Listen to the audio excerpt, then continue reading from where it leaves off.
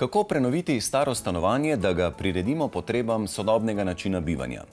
Imamo dober primer. Prej je bil v njem dolg temačen hodnik, poln vrat, ki so vodila v manjše prostore. Sedaj je to odprto in svetlo domovanje z velikim dnevno bivalnim prostorom, ki nudi različne možnosti uporabe.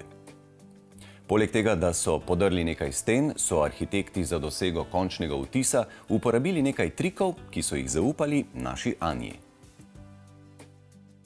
Prenove stanovanj v starejših stanovanjskih objektih so zelo pogoste, saj so ti večinoma zgrajeni kakovostno in postavljeni na lokacijah, ki so zanimive.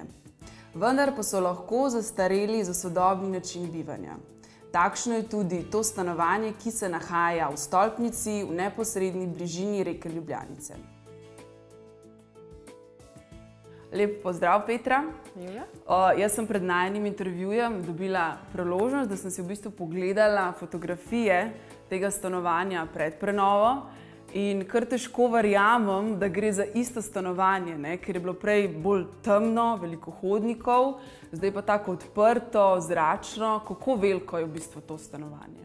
Stanovanje ima v bistvu ločene sobe, no, je imelo ločene sobe, eh, nek ozek hodnik za številnimi vrati, tako da stanovanje ni bilo pretočno povezano. Dnevni prostor je bil posebej, kuhna je bila posebej.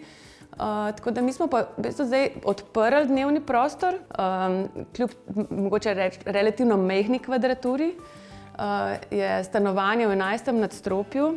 In dejansko, ko bivaš v teh dnevnih uh, prostorih, ti pogled seže do Golovca, do kliničnega centra, do Alpa, ne? se pravi, da imaš eh, nekako ta radi 10 km okrog. Tloris prej in pa aktualni tloris se razlikujeta, ne? kar pomeni, da ste morali podirati tudi določene stene. Porušali smo lahko določene stene. Večinoma nosilne stene ostanejo take, kot so, se pravi, lahko porušaš predeljne stene, vrata, odpreš prostore med sabo. Zdaj, v tem primeru smo imeli ta sredinski črn box, ne, ki deli nekak dnevni del od kuhinje. V tem delu so noter inštalacije za napo, vodo, plin in tako naprej. Tako da mi smo se odločili, da ta del postane nekako osrednji, skozi katerega lahko tudi v bistvu uporabniki potem hodijo, se premikajo, se pravi, da, da, da je stanovanje pretočno.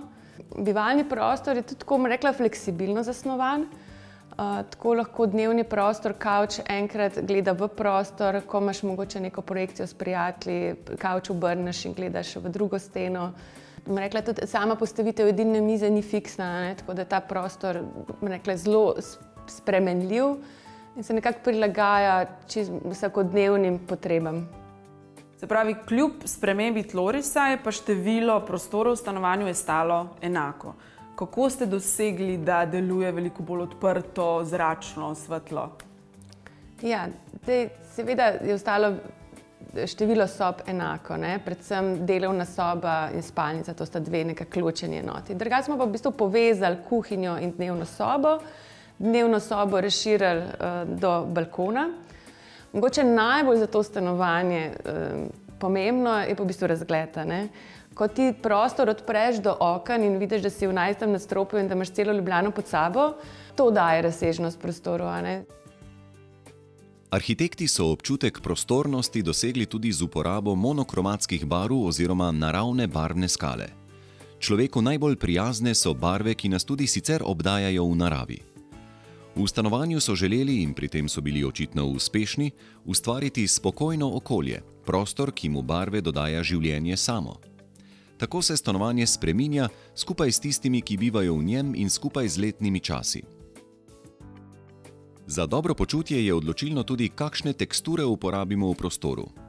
Če sedimo na kavču, je pomembno, da je tkanina, na kateri sedimo, iz naravnih materialov. Za jedilno mizo so uporabili les, ki je topel in prijeten na dotik.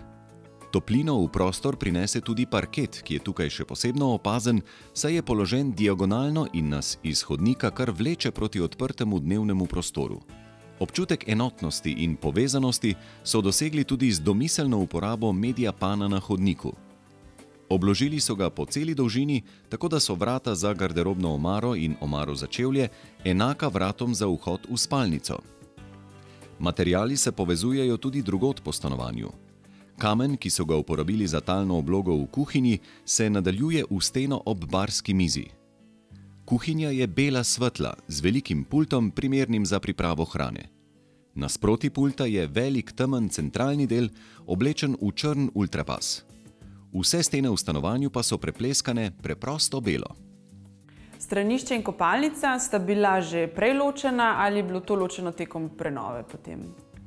Ja, kopalnica in stranišče sta bila že prej ločena. Uh, kopalnica je tudi zelo mečkana, samo 4 kvadratne metre. Ampak mi smo se vseeno odločili za eno tako udobno kopalnico, ne? da pač tisto, kar imaš, pa naj bo veliko. Tako da smo se odločili za en tak velik, prostoren tuš in za en tak lep, prostoren umivalnik. Seveda, vedno obstajajo določeni eh, vizualni triki, kako povečati mehko kopalnico. Mislim, čisto to, da naštejem, so to mogoče neko ogledalo, ki da dvojno globino, potem to, da so stene svetle, bele, ki dajo dovolj svetlobe potem vertikalno položena keramika, siva, ki v bistvu naredi spet en tak premik uh, vertikalne in naredi prostor večji. Gospodična Maja, kako pa je z notranjo opremo v stanovanju? Se pravi, v bistvu nekaj je notranja oprema po meri in je v bistvu del arhitekture. Uh, Nekaj je pa unikatno izdelana oprema in sicer ta jedilna miza in pa tudi obešalnik v spalnici. Ena od unikatnih izdelkov v tem stanovanju je torej jedilna miza, narejena iz masivnega eh, krtačenega hrastovega lesa, ki smo ga tudi malo pobelili. Noge so pomaknjene noter in sicer zaradi same razporeditve um, stolov okoli mize. Uh, zdaj pa drug še v bistvu predmet v unikatno oblikovanju v tem stanovanju je pa obešalnik. Pravi, obešalnik je vsakodneven, enostaven, funkcionalen predmet in iz tega vidika v bistvu dober izziv oziroma lepa priložnost za oblikovalsko nadgradnjo. Um, obešalnik je oblikovan kot stilizirano uh, drevo, zato da v bistvu se zlije z modernimi ambienti. Arhitekt mora znati naročnika poslušati, mu prisluhniti, v bistvu razumeti mogoče njegove navade, želje. Po drugi strani pa arhitekt ustvarja s prostorom tiste željene uh, stvari, ki si jih pa naročnik ne zna predstavljati. Tako da tudi neko to razmerje med naročnikom in arhitektom je v bistvu vedno zelo zanimivo, zelo razborljivo, ker uh, v bistvu skozi stanovanje ti tudi kažeš na svoj značaj. In uh, tako, kam imaš stanovanje, to večinoma si. Je res, da se tudi stanovanje potem z leti spreminja, ti dodajaš uh, slike, otroke, male živali, ljubljenčke. Uh, ne, se pravi, da stanovanje odražamo uporabniki ljudje. Ne, in arhitekt v bistvu potem z veseljem gleda, kako se to stanovanje uporablja in kako tudi spreminja človeka v tem mm, okolju.